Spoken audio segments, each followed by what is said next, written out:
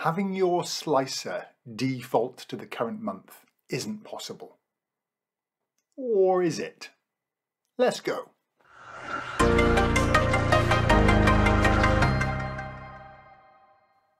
So check this out. I've got a current month option in my month slicer. And that means if I change my date, let's say I've refreshed my data, and I've just set up a little parameter to do this. If I go edit parameters, and I change the today's date, I'm just pretending here, I've used a parameter to sort of replicate next month as it were. So next month comes along and I refresh my data. Go apply changes, I click refresh or it's automatically refreshed. Check this out, it's now showing October, current, okay? And this figure, October, is that figure there. Let's just test it again. Let's go here, edit parameters. I'm going to change it to, let's pretend we're into November now, and I click OK. And I've refreshed my report. I'm now showing November. Okay, so how do you do this? Well, I've got a calendar table, and I'll make this downloadable. I'll, put a link in the, in the notes below. I've got a calendar table to help me do this. So let's take a look at that. It's built in Power Query. So here's my calendar table. It's one I use all the time for Power Query. And one of the columns I use all the time is the months since today column. Okay, month since current month, week since current month. These columns are really handy. And you can have a look at my code about how I generated these columns. Um, so I've used that column, that months since current month, to say, hey, if that month is zero, which means it's this month, I added a little formula. So here we go. I've down here added a conditional column. Let me just open this one up. So all it says is if the months since current month is zero, then give me the word current. Otherwise, grab me the name of the month from the month column. Okay, and that essentially gives me a nice little column called month with current. And whenever it hits the word the, the current month, it'll actually say the word current. I then added a sort by column. You need this to get your slicer to have current show first. So I just did exactly the same thing, but it, rather than the word current, I had the output of zero, otherwise the month number for sort column that I've already got set up.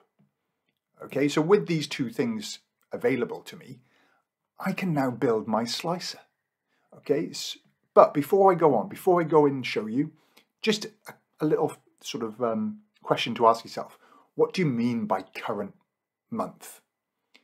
You know, do you mean today, whenever this refreshes, it's today, even if you haven't got data, in which case, within my calendar, I've got a little um, formula.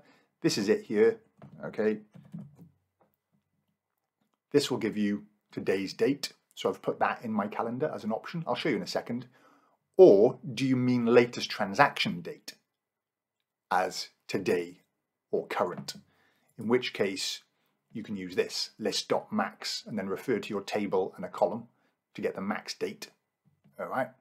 And then you could use either of those in your calendar. So in my calendar table here, let me go to the advanced editor. I've actually got a couple of these in I'm currently using this parameter just for this demo, but I'd get rid of that. That won't be in the in the file I publish and share.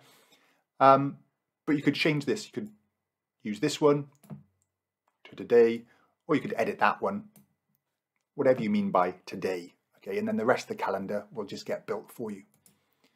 And with that, okay, if I close this, and in here, it just works. You get this current. And I, you, I did have to go in and say calendar, let me pop this window out a second.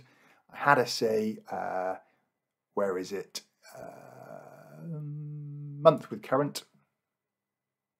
I had to say sort by, sort, but this sort by column that I created, okay, in order to get current to show up first here. And it just works. The weird thing is, you know, November is actually missing from my slicer because it's the current month in this case. Um, if I want to change year, I actually have to click off current and then I get different years and then I can, you know, do my normal slicing and dicing. But if I'm on 2022, click on current, and that will change. That'll change to 2023 as we roll over. So it's pretty cool. Look, let me know what you think. I've not really used this in practice, but it's just something I thought of the other day. And I just thought, actually, this could work really well. So, love to get your comments. Let me know what you think. A link for this um, calendar table, this file, I'll put it in the, uh, in the description below, and I'll catch you in the next video.